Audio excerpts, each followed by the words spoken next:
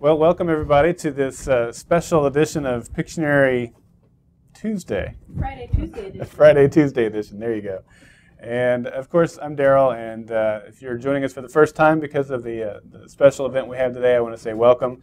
Uh, typically, every Friday at 3 o'clock Central, we don't always have the wonderful Phil Vischer, but you have me or the, uh, the wonderful Courtney. And we have a good time. We talk about products that we believe in, and then we play some Pictionary. And today, it is my honor and pleasure to be joined by Phil Vischer, who needs no introduction. I had a, a, written introduction I was going to read. No. I left it down in the room. Good. But you guys know Phil. I mean, he is the creator of VeggieTales, and he's going to talk about that a little bit, and his new project, which is called What's in the Bible. So, what we're going to be doing today is uh, taking just a few minutes to talk with Phil and kind of get to know him a little bit and uh, what's going on with his projects. And then he has so wonderfully and graciously agreed to uh, play Pictionary for us. And I'm a little nervous about that because that means that in the future I have to live up to his drawing standard. I don't draw all that well, other than vegetables. That's pretty much it. So all the stuff today will be vegetables. Is that right, Courtney? Uh, yeah. Yes. a vegetable. Vegetables. Yes. All right. Yeah. All right. So the first thing I want to ask you, I mean, the last 10 years have been quite a journey for you. And Yes. um, what, what would you say through that process that, that God has taught you and brought you through? And, and, you know, what has God taught you over the last 10 years? A lot. Um, really, what I what I had done, uh, I was extremely ambitious with VeggieTales. I wanted to do as much good as I can, I could, as fast as I could. You know, I wanted to be the next Walt Disney. I wanted to build the next Disney. I wanted to save the children of the world from the evils of Hollywood, and I was killing myself. You know, I was working myself to death. It was affecting my marriage. It was affecting my family. It was affecting my employees. I was miserable. Um, but I thought that's what God wanted because He wants us to do as much as we can, as fast as we can, right? Right. And I realized, you know, it all fell apart. I mean, I lost Big Idea Productions in, in 2003 in bankruptcy. And in the, the months after that of just praying and saying, okay, God, why? You know, why did you let that happen? I realized that I had made the work I was doing for God more important to me than my relationship with God. And as a result, I wasn't enjoying, you know, the, the fruit of my faith. You know, joy, peace, love, kindness, faithfulness, you know, long suffering. I mean, the, the, the fruit of the Spirit is, is why Christians are attractive to the rest of the world. And I was anxious, I was tired, I was cranky, I was stressed, you know, and I'm, I'm reading Paul's epistle one night saying, Well, none of those are on the list. You know, why do I have all these things that aren't on the list and I don't have the things that are on the list? And that's really when God started to work on me and say, You know what? I didn't let your dream fall apart because I didn't love you. I let it fall apart because I love you so much. And I want to save you from yourself. And that led me, you know, to really slowing down and saying, okay, you know what? I'm not supposed to focus on results. I'm not supposed to focus on impact. I'm supposed to focus on obedience. Saying, okay, God, what do you have for me to do today? And am I doing it?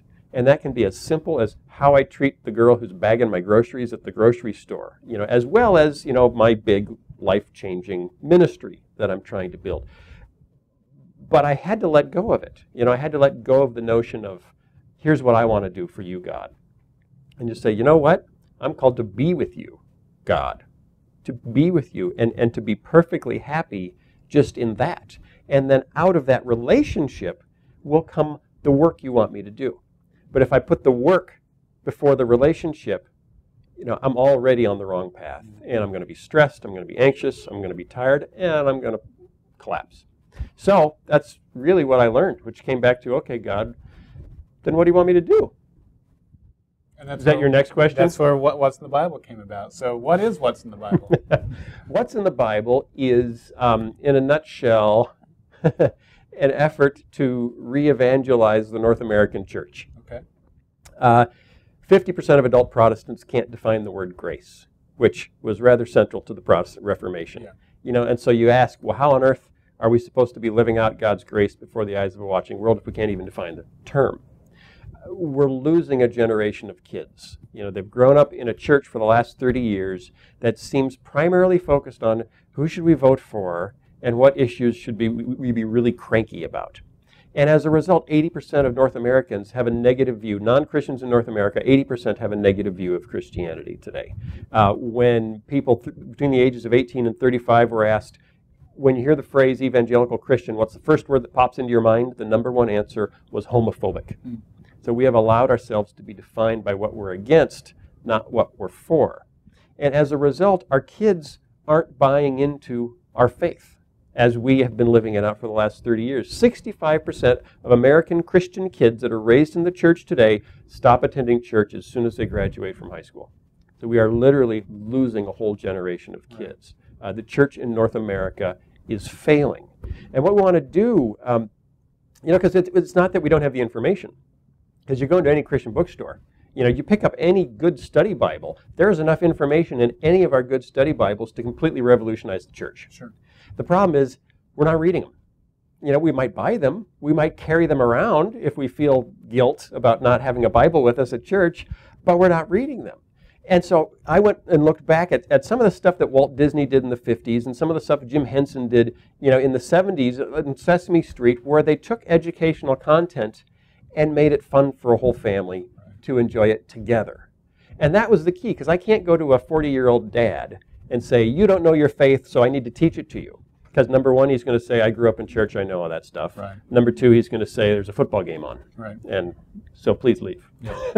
but if I go to the same guy, same 40 year old dad, and say, I want to help you pass on your faith to your kids, Mhm. he's going to say, Boy, do I need help with that because I have no idea how to do that. So I feel that the key to really reteaching Christianity to the North American church is to target kids. And parents will come along for the ride. And halfway through, if we do it with the same wit, you know, that we brought to VeggieTales, Dad's going to lean over on the couch halfway through and say, you know, I don't even think I knew that. Yeah. That's the key. So what's in the Bible is Sesame Street meets the Muppet Show meets seminary okay. in a nutshell. It's walking kids all the way through the Bible from Genesis to Revelation over 13 DVDs Okay. with songs, with humor that makes the teaching sticky. You know, because every Sunday in 350,000 churches across America, pastors get up and lecture. Even though scientifically we know that lecture is the least effective form of education known to man. It does not, you do not retain what has just been told to you, especially when it's never repeated. And pastors don't want to repeat a sermon because they think they'll get fired. okay. okay, I know the preamble to the Constitution, not because I learned it in school, but because I learned it from Schoolhouse Rock Right, on okay. Saturday morning cartoons, because they put it in the form of a song, which made it sticky, Right. and then they repeated it. They, they aired it, you know, a couple times a week. And so I heard it over and over again. And to this day, I can give you the whole preamble to the Constitution. We need to do that with the concept of grace. We need to do that with the concept of redemption and salvation and all these big words that kids hear in grown up church, but no one ever defines. Yeah. So they don't even know what they mean. Uh, we need to bring kids' faith to life for them so they can defend their faith when they get to high school so they don't get it knocked out from under them, you know, by one bad question from one cranky professor and walk away from the church. Wow. That's a, that's a uh, monumental task. Nah, you don't focus on the size. You just it's obedience. Yeah. It's just you want me to try that? Okay. Know, that's that's interesting. You, you say that because you and I were just kind of chatting before we started here, and we were talking about the songwriting process and the voices that you do. And one of the things I, I picked up that you, you basically were saying was, I don't do anything great. You said I, I can do a few voices. I can write a few short Yeah. little lyrics and, and songs. But yet, it seems that you said I'm going to take whatever God has given me and give it my best shot, and just allow Yeah. Him to, to take it and bless it and, and do with it as, as He would. Yeah, there, there, I do so many different things in Veggie Tales and in what's in the Bible, and I don't think I do any one of them exceptionally well enough to actually make a living Okay. doing that one thing. But God has given me all of these, you know, kind of high, moderately, not quite mediocre, just above mediocre abilities. And when I try to pour them all into a project altogether, something kind of special happens. Yeah. You know, and VeggieTales came out. So it's, I mean, what, what I've been trying to do in the last few years is just say, okay, God, what gifts have you given me? And I want to try to create projects that use as many of them as I can. Yeah. You know, and stop trying to do things that I'm not gifted for, like managing staff.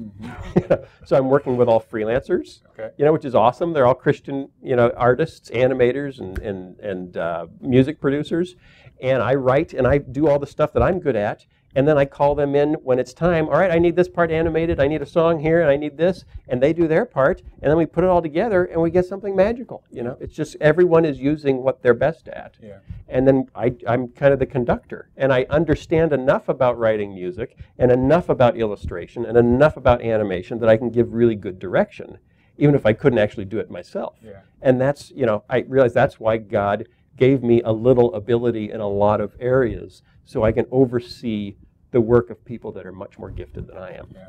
That's awesome.